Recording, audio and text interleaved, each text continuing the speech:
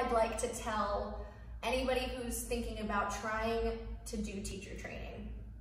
For me, I struggle with giving myself enough time and energy in myself to spending time filling my own cup. And one of the things that they talk about in yoga teacher training in general is just being present, giving yourself the time to recover and recuperate not only physically but mentally.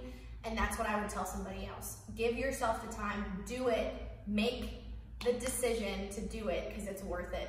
So what made me attend yoga teacher training was one for myself, just because I love learning new things and taking on new skills.